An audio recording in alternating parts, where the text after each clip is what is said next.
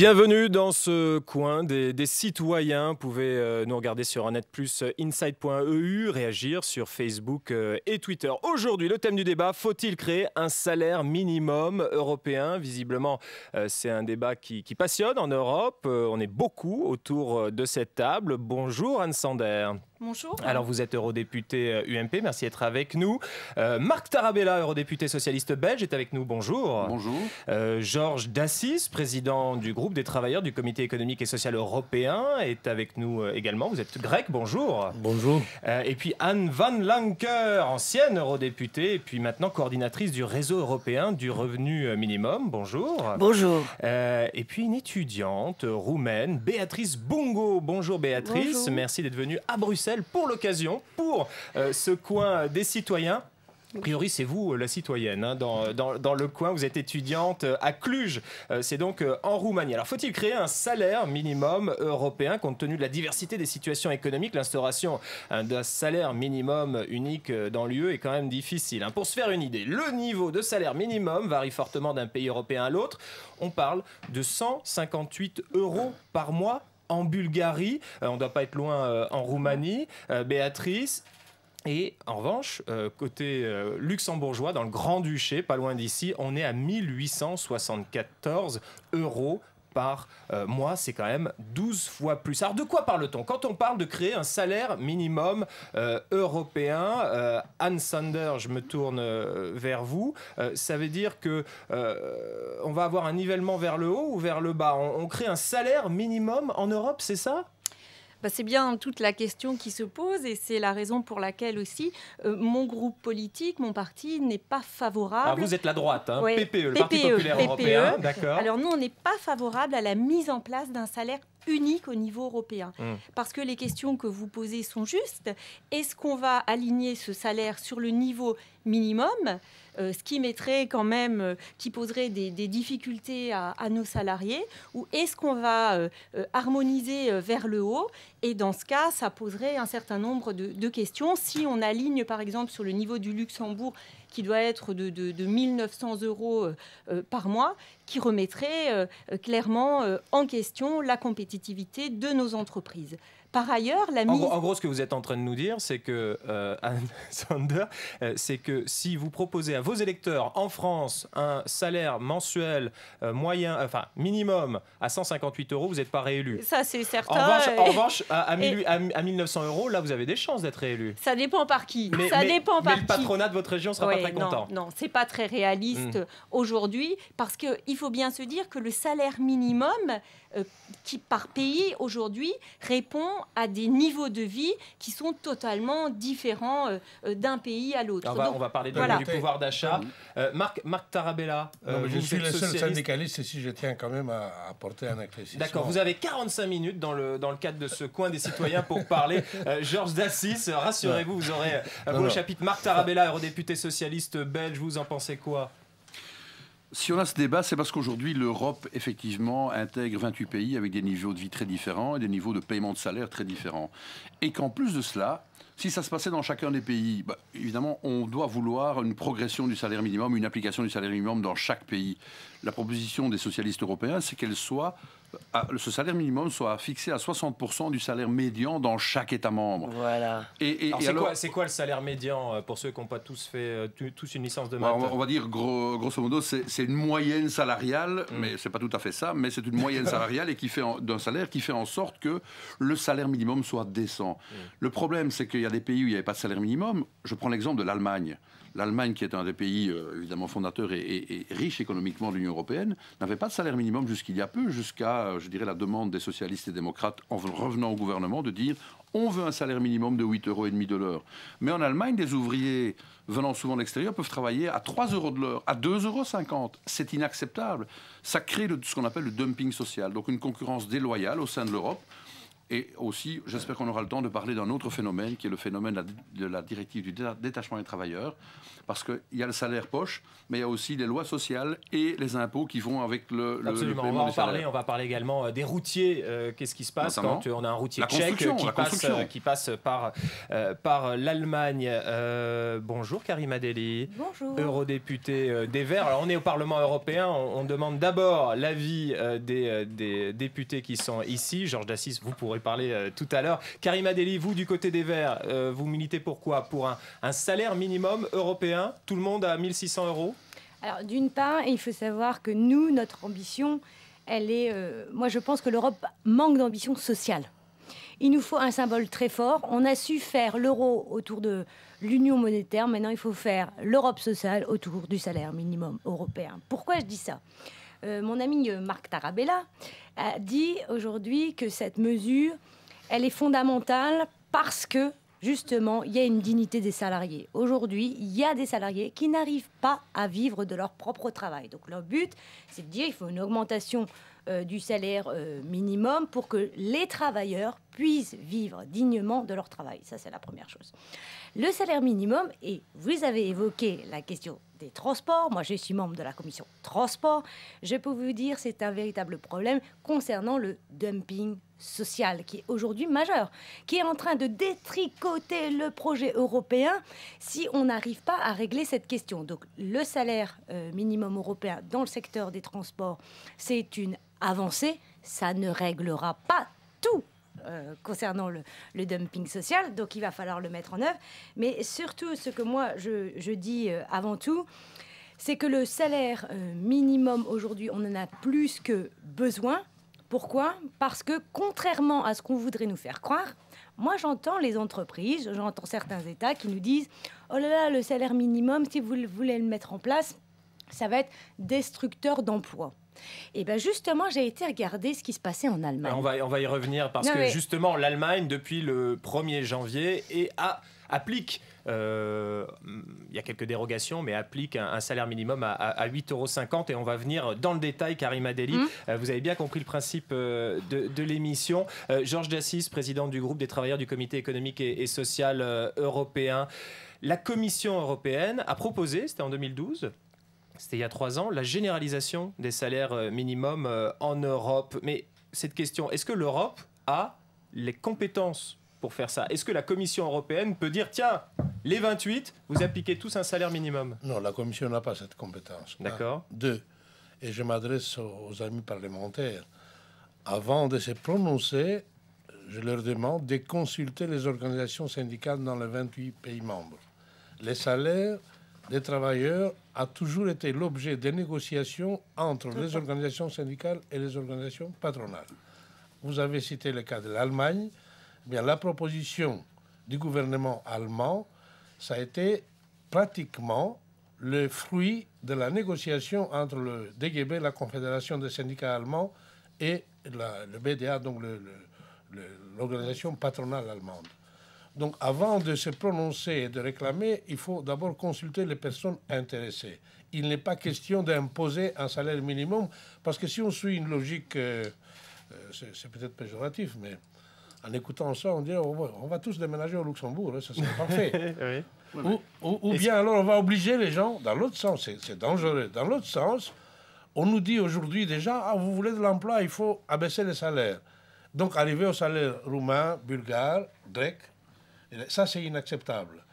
Il n'est pas question de défendre un salaire en, euros uniforme dans les 28 pays. en tout cas, il est, question, attention, il est question de raisonner en termes de pouvoir d'achat. D'accord. Parce que vous pouvez donner des sous aux gens quand ils ne peuvent pas acheter de quoi vivre, c'est pas la peine. Et surtout, cela ne peut pas être traité par voie législative sans la participation effective des organisations intéressées. le pouvoir d'achat, c'est important parce que dans un pays où on a un salaire minimum à 500 euros dans un pays de l'Est, on achète autant euh, qu'avec 1500 euros euh, en France, par exemple. je peux prendre l'exemple de mon pays. Mm. On avait un salaire minimum, la, Grèce. On avait un salaire minimum négocié, mm. pas imposé. C'était le fruit de la négociation entre la, Confédération générale du travail de Grèce et toutes les organisations patronales. Eh bien, ce salaire minimum a été aboli à la suite de l'intervention de la Troïka. Il est passé de 728 euros à 520. Donc, par voie législative, ça a été, on a été obligé mais attention, vivre à Athènes avec 520 euros, c'est impossible. C'est pourquoi je dis il ne faut pas raisonner C'est ce que dit le ministre des, ministre des Finances, Yanis Varoufakis, devant l'Eurogroupe, en disant qu'il faut remonter le salaire minimum. Ce à quoi le laiton dit, euh, nous, il est inférieur C'est pourquoi je dis il faut raisonner en termes de pouvoir d'achat et pas en termes de monnaie. Anne Van Lanker, donc coordinatrice du réseau européen euh, du revenu euh, minimum. Si, si on commence à, si on ouvre le débat des avantages et des inconvénients d'un salaire minimum euh, européen. Karim Adeli a, a déjà euh, commencé à parler du, de la lutte contre le dumping social. Pour vous, c'est ça le principal avantage d'un salaire minimum européen C'est la lutte contre le dumping social? C'est une des bonnes raisons pour introduire un salaire minimum dans chaque pays au niveau de 60% de la médiane, comme le disait euh, Marc. Il y en a d'autres. Hein. c'est une question de justice sociale. Ça augmente le niveau de vie des travailleurs qui vivent à bas salaire, ça aide à lutter contre la pauvreté, ça réduit l'inégalité. Mhm. Et la réduction de l'inégalité, c'est bon pour toute la société, c'est aussi bon pour l'économie. Parce que ça fonctionne comme des stabilisateurs économiques mhm. en termes de crise. Et euh, les dépenses des, des, gens qui vivent sur des salaires minimums vont directement dans la consommation. Parce que ces gens-là ont plutôt tendance de, de consommer. Mais sur les 28, il y en a déjà 22 qui ont un salaire minimum. Ben, presque non. Tous les, tous les pays ont un, ont un salaire minimum. Mhm. Les, les, six autres ont un salaire minimum qui est euh, accordé en termes de. Les, six autres, c'est l'Autriche, Chypre, le Danemark, la Finlande, l'Italie et la Suède. Ils ont des accords collectifs par secteur. D'accord. Donc, c'est ce que voilà, tous les, tous les euh, minimum par branche. Voilà, hein. Karim Adeli, de quoi on parle alors finalement là? Qu'est-ce qui changerait? Parce que quand on voit qu'il y en a 22. Il n'y en a que trois. il y en a que trois. Le Danemark, l'Italie et la France qui ont un salaire minimum qui va au-delà de 60% de la médiane. D'accord. Les écarts sont énormes dans les pays de l'Est, mm. dans les pays baltiques, mais aussi dans l'Espagne, le Luxembourg la Hollande et le Royaume-Uni. Donc c'est là que le plus de, travail est encore à faire. Est-ce que Karim Adeli peut intervenir? Oui. Non, mais moi, moi, je voudrais dire que quand même, vous avez parlé de la, de la Grèce. Normalement, le, salaire minimum qui était à l'époque négocié par branche, donc avec les partenaires sociaux, c'est ce qui se passe dans ces pays-là. Hein. Non, non, c'était un salaire interprofessionnel. les, branches, les branches négociaient à partir du salaire minimum. Donc ça veut dire qu'on avait un salaire minimum et euh, l'Europe notamment est venue par les politiques d'austérité couper là il fallait pas. Alors qu'on sait très bien qu'aujourd'hui il faut des filets de sécurité sociaux. Ça c'est la première chose. Donc chose qu'il ne faut pas faire. Première chose. La deuxième chose qui est importante, et vous le dites, c'est-à-dire il y a des disparités entre des salaires minimums comme on connaît en France, etc., et voire le Luxembourg, hein, quand on voit euh, la marge réellement forte de ce salaire minimum par rapport à d'autres qui sont à la traîne. Le but de l'Europe, c'est de monter le mieux-disant social, de faire en sorte qu'il n'y a plus justement par secteur, mais qu'il y ait une harmonisation. Ensuite, il faut arrêter de dire c'est l'Europe qui va, qui va fixer le salaire minimum. Non, c'est pour ça qu'il nous faut justement des dispositifs, des indicateurs, le fameux 60% du revenu euh, médian. Mais je dois dire une autre dernière chose qui est très importante. Lorsque M. Juncker est arrivé, souvenez-vous, chers collègues, dans l'hémicycle, le 15 juillet, c'était l'ouverture de cette fameuse euh, session qui nous amenait à avoir cette mandature. Il a dit une phrase extraordinaire, Monsieur Juncker. Je le cite. Il a dit Durant cette mandature, je veux dire bien haut et bien fort, nous allons créer un salaire minimum social dans tous les pays de l'Union européenne. Donc maintenant, il faut passer à l'action. Pourquoi il faut passer à l'action? Vous avez parlé de la pauvreté. Moi, je considère qu'au niveau de la pauvreté, ce n'est pas seulement la question du salaire qu'il faut revenir, parce que salaire minimum engage directement la, question sur le revenu minimum. Moi, je suis pour un revenu minimum d'existence, avec des vrais filets de sécurité, parce que L'explosion de la pauvreté en Europe a explosé. Nous sommes à 125 millions de personnes qui souffrent dans nos pays et qui n'ont pas de travail. Et ce salaire minimum aussi revient à un questionnement de notre société. C'est-à-dire qu'aujourd'hui, l'explosion des travailleurs pauvre est telle qu'on n'arrive même plus à faire en sorte d'amener dans euh, un accompagnement social digne pour ces salariés. Alors maintenant, votre question, cher journaliste, j'ai oublié votre prénom. Pardon. Je, vous en prie. non, mais juste pour ça, parce que sa question est vraiment importante. Vous avez posé la, la vraie question, c'est-à-dire, mais Comment vous allez faire, vous, parlementaires, alors que les traités, aujourd'hui, nous disent que nous ne pouvons euh, pas le faire puisque nous avons ce fameux article 153 euh, Alors, moi, je le dis tout, tout simplement, c'est qu'aujourd'hui, il faut du courage politique. Il faut des engagements de chaque État membre que de façon coordonnée, avec une action, je le dis, de nous parlementaires pour une demande de directive. Encore 10 secondes et on peut passer à Marc Tarabella oh, mais il pense la même chose que moi. Allez, Marc Tarabella, justement, qui non, justement, il faut vous enchaîner. par rapport au débat que nous avons, au-delà de l'utilité de fixer un salaire minimum par pays membre, en espérant qu'il soit évolutif, surtout dans les pays où il est inférieur, il faut aussi, et je le répète, revoir le prescrit de la directive détachement des travailleurs, qui prévoit aujourd'hui au départ, elle est bien, cette directive. Elle prévoit de faciliter la circulation des travailleurs dans l'Union européenne. Il n'y a pas de souci. Sauf que le souci aujourd'hui, c'est que cette directive est utilisée abusivement par une série de secteurs. Le transport, la construction, le nettoyage, les soins de santé, ça vient pour l'instant. Où des travailleurs viennent de l'extérieur, soi-disant temporairement. Ils ont normalement le même salaire, pas toujours le cas, il y a beaucoup de dumping social, le même salaire que les, les personnes du même secteur dans le pays où ils prestent, mais les lois sociales et les impôts doivent être payés dans le pays d'origine. C'est fondamentalement ça qui crée le malaise aujourd'hui. Si, exactement, parce que ces impôts, cette loi sociale sont ou pas payés, il n'y a pas de contrôle, c'est très difficile de contrôler. Et quand un État veut contrôler, on l'empêche de contrôler. La Commission européenne euh, invite cet État à arrêter ses contrôles en disant vous contrevenez à la libre circulation des travailleurs. Et aujourd'hui, je vous donne un exemple. Dans la construction, dans mon pays, la Belgique, un ouvrier qualifié, un carreleur, un paveur, coûte 35 euros de l'heure, minimum. Quand des, quand des entreprises de, de, de, travail intérimaire ou des entreprises situées à l'extérieur proposent des ouvriers à 18 euros de l'heure, toutes taxes comprises, légalement, c'est ça qui crée le problème. C'est qu'on met des ouvriers au chômage économique dans certains pays et on fait venir des sous-traitants de sous-traitants qui viennent d'ailleurs, qui viennent remplacer ces ouvriers. Ça crée le malaise. Oui, mais normalement, c'est une normalement, concurrence déloyale au sein de l'Union européenne. Ils doivent être payés euh, en fonction du, revenu minimum, du, salaire minimum du pays. C'est juste sur les charges sociales. Bah oui, mais... Sur, les charges sociales. Oui, mais l'employeur, l'employeur, lui, doit payer les charges sociales et l'impôt. Et donc. Mais encore faut-il qu'il joue le jeu. Qu'il joue le jeu, d'accord. Le problème, c'est que. Il y a une distorsion de ah concurrence, Madame Dely, aujourd'hui. Bien sûr qu'il y a une distorsion de concurrence. Qui est une distorsion de concurrence qui est réelle, vous l'avez dit, pour un certain nombre de, de secteurs. Le bâtiment, euh, surtout aussi tout ce qui est agricole. Moi, je viens d'une région frontalière alors là, on est, on est encore plus, euh, plus touché parce qu'on est vraiment euh, euh, ouvert. Et tous les secteurs agricoles qui embauchent beaucoup de main-d'œuvre, c'est le cas actuellement pour les fraises, les asperges, c'est une véritable catastrophe parce que nos chefs d'entreprise ne peuvent pas s'aligner. Et puis, il y a la question du contrôle. Et ça, aujourd'hui, les contrôles ne sont pas faits.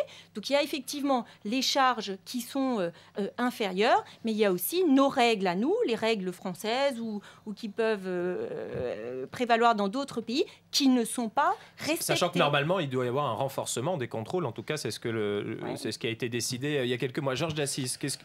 Non, si, si, on suit la logique euh, qui a prévalu ces dernières années, on va vers un nivellement par les bas, ce qui est contraire au fondement même de l'Union. Nous avons toujours défendu et expliqué que nous sommes en faveur de la libre circulation des travailleurs, mais lorsqu'on se déplace, les travailleurs doivent être payés de la même manière que les travailleurs qui vivent dans le pays, y compris les charges sociales. Et la protection. Parce que, et la protection sociale, bien sûr. Si on, continue sur cette lancée dans les chantiers navals, il y a des, euh, des entrepreneurs qui ont une société bidon à Hambourg ou je sais, que sais-je, et puis et que ces travailleurs sont pas simplement sous-payés, mais dans un régime quasi d'esclavage, là, l'Europe n'avancera pas. Les travailleurs ne vont plus suivre le processus d'intégration parce qu'ils voient en Europe non pas une amélioration, mais une détérioration de leur niveau de vie. Et une chose encore, Madame Deli a parlé du revenu minimum. Nous, au Comité économique et social, nous avons adopté un avis en réclamant un revenu de survie, qu'on l'appelait, minimum pour tous les citoyens vivant sur le territoire de l'Union et bien sûr, nous précisons que ces revenus, ce n'est pas en monnaie uniforme, mais ça doit être le pourcentage d'une grandeur économique acceptable par tous. Ça, c'est capital. Si on veut convaincre les citoyens que l'Europe est là pour eux, on doit envoyer des signaux concrets. Et ça, c'est un signal concret. Nous avons envoyé notre avis à M. Juncker. Je dois préciser que cet avis, j'en ai, été le rapporteur avec un, excellent collègue irlandais. Au sein du vient, comité économique oui, et social. Oui, qui ne vient pas du monde syndical. Il fait partie du groupe des intérêts divers. D'ailleurs, il va participer au débat après en anglais. Donc c'est pour vous dire que ce n'est pas une simple revendication syndicale, c'est une revendication de la société civile dans son ensemble.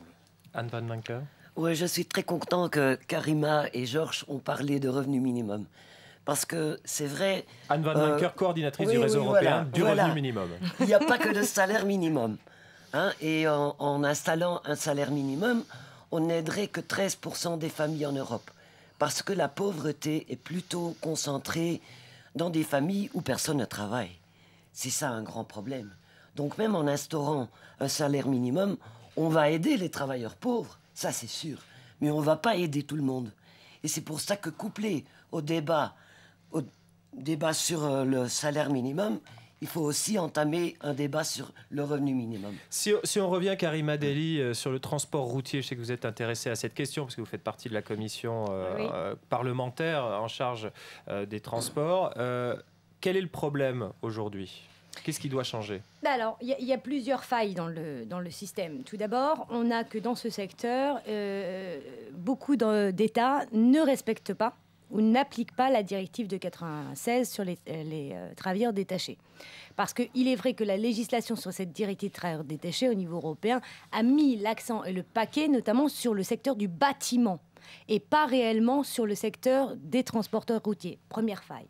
Deuxième faille, c'est qu'on a un problème notamment, euh, et c'est le cas par exemple de ce qui se passe euh, en Allemagne. L'Allemagne a mis en place son, fameux euh, salaire minimum, et on voit bien que la Pologne et la Tchéquie a euh, saisi la Commission européenne qui vérifie en ce moment le texte de, de l'Allemagne. Concrètement, c'est quoi le problème, Karima Alors, C'est quoi le problème concrètement? C'est-à-dire que le problème réellement dans les, dans les transports routiers, moi je le dis, c'est que les entreprises, notamment via des filiales de sous-traitance, etc., exploitent, il faut le dire, des salariés roumains, polonais, etc., parce qu'ils ne respectent pas les textes européens. Première chose c'est quand même. cette exploitation, c'est quoi? Ça bah, veut dire qu'il y a des, il y a des transporteurs, il y a des chauffeurs routiers roumains qui traversent, qui traversent ou qui passent Qui traversent et qui, qui, s'arrêtent en Allemagne. Parce que là, il y, a, y a un distinguo. Il y a les deux. Y a, alors, ce qu'on appelle, c'est un peu technique, mais c'est notamment ce qu'on appelle le cabotage, c'est-à-dire mmh. que chaque,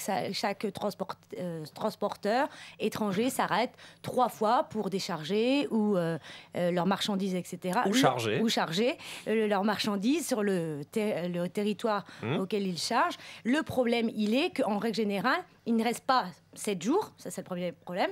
Deuxième, euh, deuxième chose, c'est qu'ils ne cherchent pas trois fois, mais beaucoup plus.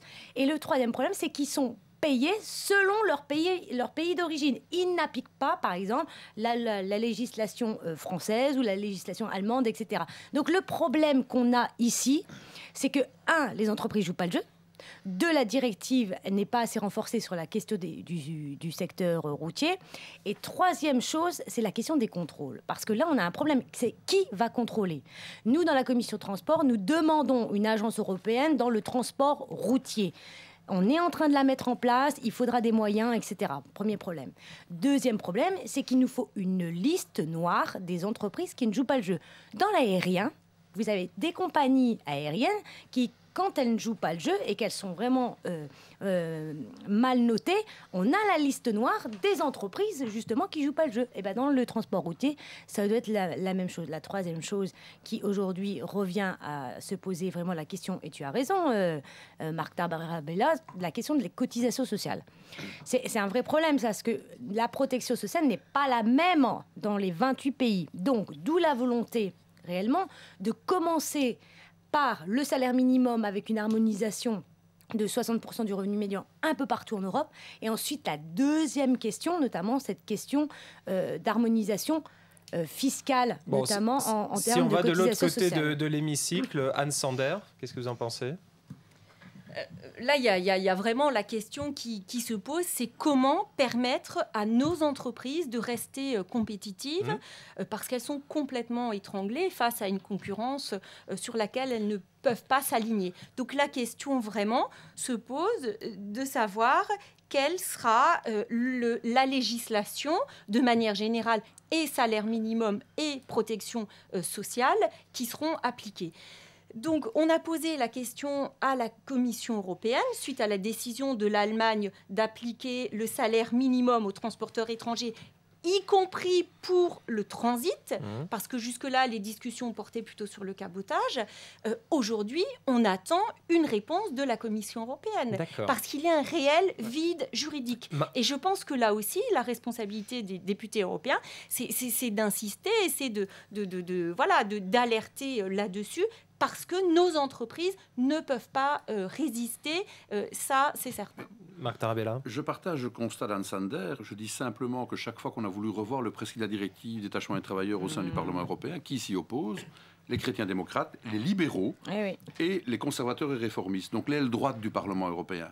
Et donc je suis très heureux d'entendre ce discours au sein du Parti populaire. J'espère qu'il va faire tâche d'huile et que vous allez pouvoir convaincre et M. Juncker de faire l'initiative, parce que c'est la Commission, et la commissaire belge, mais elle est belge, mais vous êtes plus proche politiquement d'elle que moi, Mme Thyssen, qui doit venir avec une refonte de cette directive pour permettre effectivement à nos entreprises aux entreprises de tous les pays hmm. d'être compétitives, mais ce qu'elle a, proposé d'ailleurs. Mais aujourd'hui, la, compétition au sein du marché intérieur crée finalement une plus-value ou en tout cas un taux de croissance dans certains pays, mais au détriment des autres. Depuis 2004, on vit une Europe où on a instauré euh, euh, la, concurrence déloyale au sein de l'Union européenne. Et petit à petit, ça mine l'esprit européen. Il y a 130 europhobes néo-nazis, parce que les Grecs, c'est des néo-nazis, au. Il y, a des, europhobes, des eurosceptiques, des extrémistes de droite. Mais ils sont 130, c'est 130 de trop. Mais il ne faut pas attendre qu'ils soient 250 et peut-être un jour une majorité.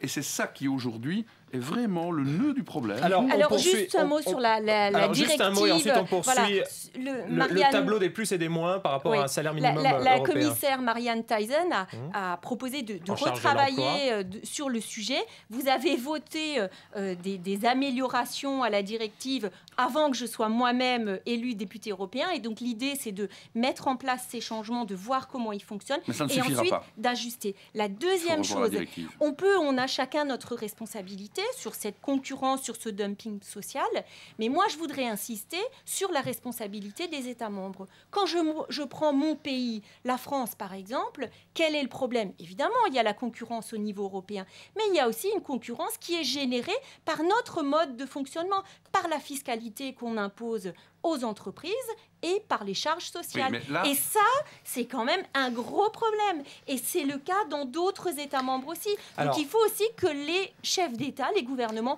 prennent Alors, si on regarde les avantages et les inconvénients euh, de, cette question, euh, on parle d'une augmentation de la consommation aussi, euh, évidemment. C'est un des avantages. C'est ce qui joue en faveur de, l'instauration d'un salaire minimum européen. Si on, on augmente les salaires, les gens peuvent plus dépenser et donc consomment plus, Georges Dassis D'abord, j'espère que Mme Thyssen préparera une proposition de révision de la directive, hmm. ou une nouvelle directive, qu'elle consultera aussi le Comité économique et social européen, et qu'elle consultera en priorité la Fédération européenne des transports, parce que mes camarades de cette fédération s'occupent très sérieusement du problème. Il n'est pas acceptable, et là je ne peux pas plaindre, Madame, toutes les entreprises, parce que toutes ne sont pas honnêtes. Il y a des entreprises, par exemple françaises, qui se prennent un plaisir euh, Veolia, par exemple. À, aller affréter euh, des camions en Roumanie, en Bulgarie, pas, pas, par sympathie mais, bien sûr, Bulgare, mais, parce qu'après les entreprises euh, utilisent le système pour essayer de s'en sortir le mieux possible. Donc elles hein. contribuent à ce qu'il y ait cette distorsion de la concurrence. C'est même, en respectant les règles du jeu. C'est même ces mêmes entreprises euh, qui, euh, qui évoquent des effets néfastes euh, aussi sur le marché du travail parce qu'ils se disent si on augmente les salaires, le salaire minimum européen, ben, nous, on va moins embaucher, Anne van Lanker. Ça prouve quand même que cette construction de l'Europe qui, qui, est, qui est basée sur le marché intérieur mais sans règles sociales, ça ne fonctionnera jamais. Si, tout le monde respecterait les normes sociaux, même en relation avec son propre pouvoir d'achat dans le pays, ce serait déjà beaucoup mieux. Un des grands freins à des règles sociales euh, en Europe, c'était, euh, ce sont les Britanniques. Vous pensez que si jamais les, Britanniques quittent l'Union européenne, euh, on pourra davantage aller de l'avant en matière de, règles sociales? Je ne me fais pas d'illusions. Il, y a aussi, il, y a, aussi les pays nordiques, hein, par exemple. Les pays ben nordiques qui pensent que eux ils règlent tout mieux dans leur propre pays. Et c'est en fait vrai parce que par exemple en matière de salaire minimum, les pays nordiques qui ont des accords collectifs accordés entre partenaires sociaux, ils sont, ce sont les économies des plus compétitives en Europe avec des salaires minimums les plus hauts. C'est un peu bizarre, mais c'est dur de convaincre les Scandinaves de, de, la nécessité de faire des, des, règles sociales au niveau européen. C'est le Et en plus, les pays de l'Est, qui sont convaincus que par le dumping social qu'ils appliquent, ils ont une certaine, euh, un certain avantage compétitif. On est dans le coin des citoyens. Ce qui mine tout le jeu, quoi. On est dans le coin des, mmh. citoyens. Vous pouvez nous regarder sur Anet Plus, euh, inside.eu, réagir sur Facebook euh, et Twitter. Tiens, une citoyenne, Béatrice Bungo de Roumanie. Je rappelle que vous êtes étudiante de Cluj. Vous avez une question pour les participants à ce débat. Alors, euh, qu'est-ce que vous pensez sur une variation du salaire minimum selon l'âge de personne Parce qu'un homme d'âge moyen a besoin d'un salaire plus élevé pour euh, soutenir sa famille. C'est ça possible? Qu'est-ce que vous en pensez, euh, Anne Sander? Ça veut dire un, salaire minimum qui serait plus bas quand on démarre dans la vie et, et, plus élevé après. C'est ça que vous voulez dire?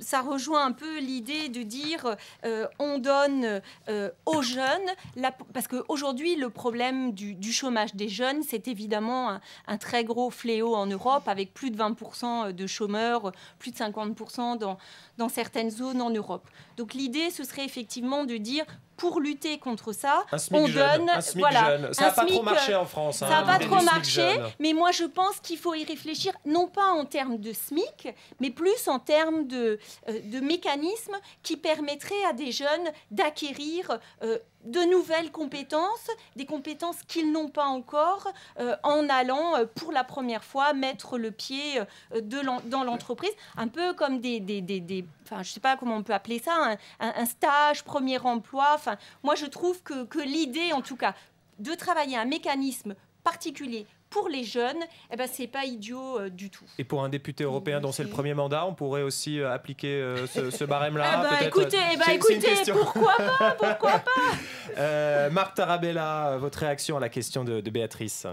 mais elle me permet de donner une idée, c'est que c'est déjà quelque part d'application parce que par l'impôt, l'impôt est progressif, mais l'impôt, par exemple, est différent selon que vous n'avez pas d'enfants, un enfant, deux enfants, trois enfants. Et donc, euh, le prélèvement de l'impôt est, inférieur lorsque ben, la personne a charge de famille. Donc, ça tient compte d'une réalité familiale où il y a plus de charges.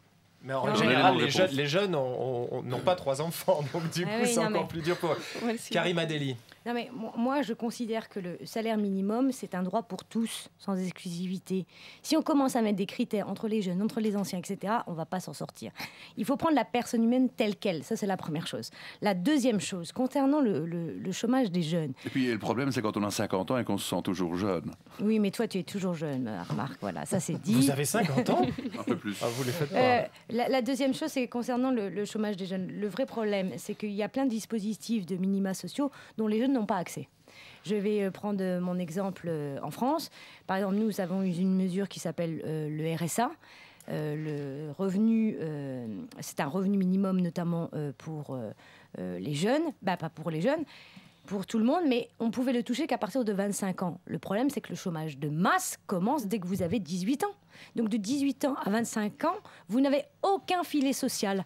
Et donc là, euh, je, dois dire qu'on ne doit absolument pas, dans les politiques européennes, commencer à faire de la discrimination pour le jeune, parce que c'est déjà une génération précaire, c'est déjà une génération qui se pose énormément de questions pour son avenir. Et si on commence à leur mettre des bâtons dans les roues pour juste avoir ce filet de sécurité, on ne va pas y arriver. Donc c'est tout, pour tout le monde, sans exception. Alors, euh, c'est intéressant maintenant de faire le point sur euh, ce salaire minimum qui a été introduit en Allemagne depuis le 1er janvier. Les détracteurs de ce SMIC à l'allemande au départ, alors que ce soit des économistes, des fédérations d'employeurs, pas mal de conservateurs, eux, ils pronostiquaient un effet néfaste sur le marché du travail avec des scénarios de suppression d'emplois par centaines de milliers.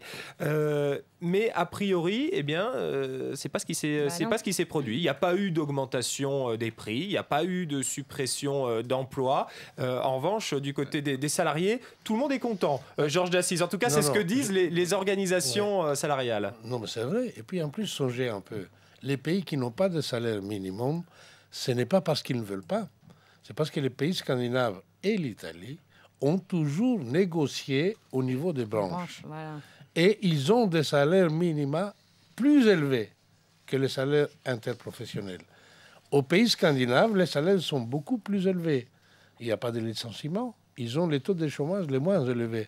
Donc il ne faut pas faire une fausse liaison entre un salaire le plus bas possible et le chômage qui peut être le plus bas aussi. Ce n'est pas vrai. Et ça, ça a été montré par un exemple très concret. En mai 2005, euh, Gérard Schroeder, justement, qui, euh, lui, commençait vraiment à paniquer sur le, dans le secteur du bâtiment et dans le secteur euh, maritime, a pris un accord de branche notamment pour ces deux secteurs, en mettant en place un salaire minimum. Et cette mesure a sauvé quand même en Allemagne 650 000 emplois grâce à la mise en place d'un salaire minimum. Donc c'est plus de la protection que de la destruction. D'un autre côté, là, on parle de créer un salaire minimum européen. On l'a dit, la Commission européenne a mis ça sur la table euh, il y a trois ans. On voit qu'ici, autour de la table, c'est plutôt autour des modalités qu'on discute, mais globalement, tout le monde est, d'accord avec des salaires minimums dans chacun euh, des, des, États. Euh, bien sûr, pas tout le monde à 158 euros, Anne Sander, ou, tout le monde même à, à 1900 euros. Malheureusement, je ne pense pas qu'il soit possible d'élargir les frontières du Grand-Duché du Luxembourg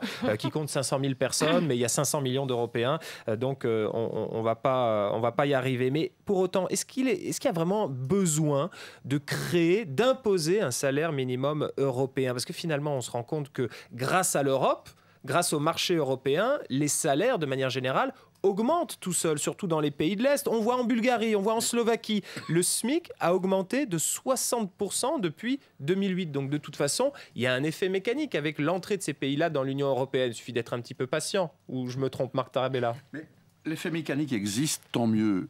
Mais ça ne suffit pas. Je pense qu'il faut voir la globalité. Quand on parle euh, au niveau européen, et c'est Karim Adeli qui l'a abordé tout à l'heure, l'harmonisation fiscale.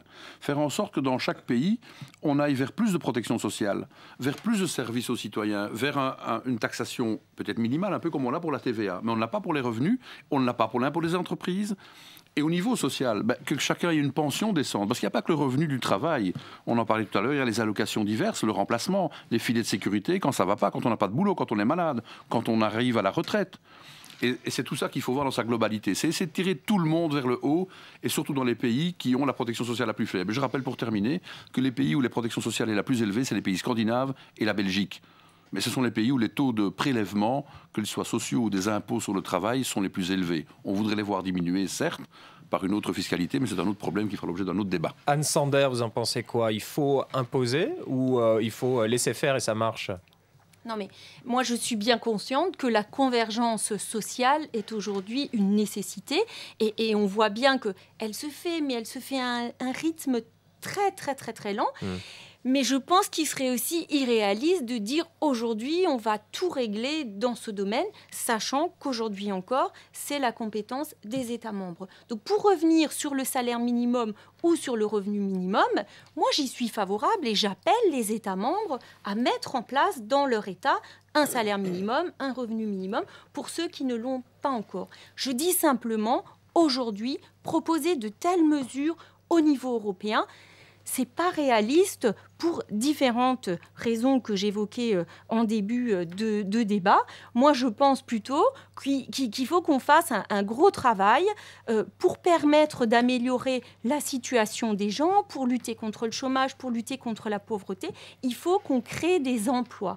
Moi, je pense que c'est par ce bout-là qu'on arrivera à faire évoluer la situation. Juste encore un mot, la mise en place d'un revenu minimum au niveau européen, ça veut dire aussi la mise en place d'un fonds commun. Et qui va payer? C'est les États membres. Quand on voit déjà aujourd'hui la difficulté à mettre en place un budget, je ne vois pas comment on pourrait ah, euh, bah demain imposer un, revenu minimum. Ça, c'est clairement une question pour Anne Van Lanker, coordinatrice du réseau européen du revenu minimum.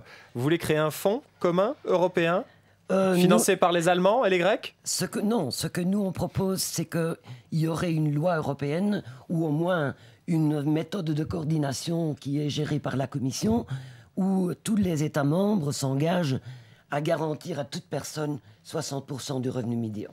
Mhm. C'est ce qu'on propose. Nous, on propose qu'il y ait un fonds européen. Je sais. et Georges Lassis, vous, vous proposez quoi? Oui, oui, il faut que ces revenus minimums soient financés par un fonds européen. Mhm. C'est ça le message, parce que les 26 pays sur 28 ont un revenu minimum. Mhm.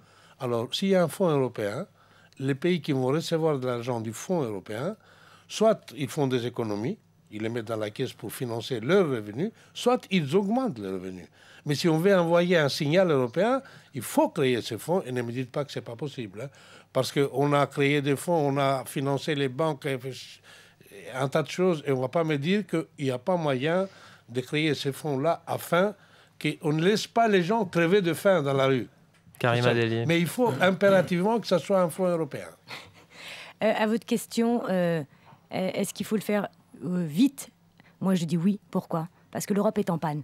Et au fait, les citoyens européens ont besoin d'un symbole fort sur cette Europe sociale si demain on faisait un sondage au niveau de l'Union européenne, de dire l'Union européenne s'engage sur un salaire minimum européen, je suis certaine aujourd'hui que tous les citoyens sont prêts. Ça, c'est la première chose.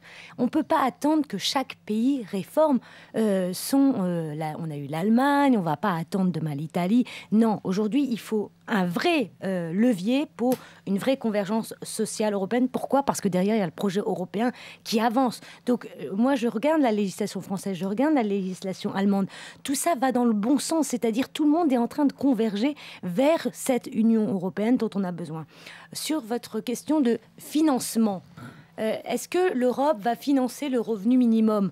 Moi, je ne suis pas euh, experte de financement, est-ce qu'on va créer un fonds spécial, etc. Moi, je pense que l'urgence, et vous parlez d'emploi, on ne crée pas des emplois en claquant des doigts hein, en Europe. Hein. Ça va prendre du temps de mettre en œuvre, notamment en mettre en œuvre, moi je dis la mutation écologique, parce que ce sont les secteurs où le boom euh, de ces emplois va prendre un effet incroyable dans les 10 ans. Mais moi, je voudrais régler la question du chômage, et notamment de l'assurance chômage. Moi, ma priorité, c'est dire comment l'Europe règle notamment les questions d'assurance chômage. Il y a toute une réflexion dans la commission emploi affaires sociales pour cette mise en place d'un fonds d'indemnisation chômage, notamment pour les jeunes, parce que malheureusement, lorsque un jeune aujourd'hui perd son emploi, il rentre dans une catégorie qu'on appelle les, chômeurs de longue durée et pendant deux ans, il n'a plus rien. Mais c'est au niveau européen que ça doit se faire? Oui, c'est au niveau européen. Parce qu'au niveau européen, on comprend qu'il hum faille euh, investir ensemble parce que 100 euh, euros dépensés depuis euh, Bruxelles, parfois, grâce aux économies d'échelle et hum avec une vision d'ensemble, ça rapporte plus de fruits que 10 euros dépensés depuis chaque capitale. Mais là, des fonds d'indemnisation du chômage depuis Bruxelles? Oui, pourquoi? Parce que c'est aussi le projet européen, c'est la solidarité. Allons-nous laisser 60% de jeunes grecs euh, n'ayant pas de travail, d'avoir rien du tout, pas de filet de sécurité ni rien? Quand je regarde les Espagnols, c'est pareil. Au niveau des, euh, Français aussi, hein, je veux dire, quand on regarde le chômage des jeunes en France, c'est catastrophique. un moment, il faut avoir du courage politique et de dire c'est la solidarité qui doit l'emporter parce que si on ne s'occupe pas de ces questions-là, on ne règle pas le projet européen. Et comme disait tout à l'heure M. Tarabella, eh ben c'est les populistes et l'extrême droite qui est en train de détricoter notre projet. Monsieur Tarabella. Bah, c'est un des cœurs du problème. Je crois que c'est la Commission européenne, et M. Juncker a dit lui-même qu'il incarnait la Commission de la dernière chance. Je pense qu'il avait raison en disant ça, et qu'il y a deux défis à relever. Un, c'est celui-ci, c'est plus d'inclusion européenne, euh, plus d'inclusion sociale au niveau européen, et donc faire en sorte que cette concurrence effrénée sur le, fait que nous ayons des, niveaux de salaire différents soit, soit la règle. Et deux, c'est un autre problème aussi. Mais il faut aussi faire attention de ne pas déstructurer les normes qu'on pourrait établir par une série d'accords de libre-échange qui vont dans tous les sens. Je parle du TTIP notamment, qui pourrait être une menace. Euh, que si on construisait des normes, on se les fait détricoter par euh, les accords de libre-échange bilatéraux qui sont très dangereux, notamment pour l'inclusion sociale. Sachant que le TTIP, c'est c'est l'accord de libre-échange en cours de négociation entre les États-Unis et l'Europe. Béatrice Bungo, étudiante de Cluj en, Roumanie, vous en pensez quoi là, de, de ce débat Le mot de la fin est, pour vous. Euh, vous pensez que vous, en Roumanie, euh, ça va bien se passer là dans les prochaines années? Est-ce que vous aimeriez bien avoir un, salaire minimum à 1900 euros? Non. Euh. Ah non Non Bon, d'accord. Vous voulez plus? Je pense que c'est plus élevé. C'est plus, plus élevé. C'est trop élevé pour vous, à votre avis Bon, ben voilà, bah vous êtes raisonnable et, je, vous, félicite.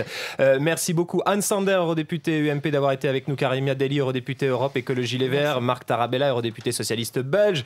Euh, Georges Dassis, président du groupe des travailleurs du Comité économique et social européen. Anne Van Lanker, coordinatrice du réseau européen du revenu minimum. Merci beaucoup d'avoir participé à ce débat euh, du coin des citoyens de Ranet Plus. Faut-il créer un salaire minimum européen? Voilà, pour réagir, vous pouvez vous exprimer sur Facebook et Twitter. Maintenant, place à Brian McGuire pour euh, le débat en langue anglaise. Le 17 juin, vous aurez rendez-vous avec Radio Croatie sur la thématique du droit d'asile et les migrants. Merci beaucoup, à bientôt.